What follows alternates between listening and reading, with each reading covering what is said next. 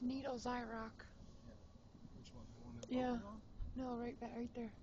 There's Needles Eye. Rock. Big there. one in the middle. That's a big rapid. That's the first big rapid on the lower section. Well, it's called the Upper Colorado, I guess they call it, but it's the lower section of The Gore.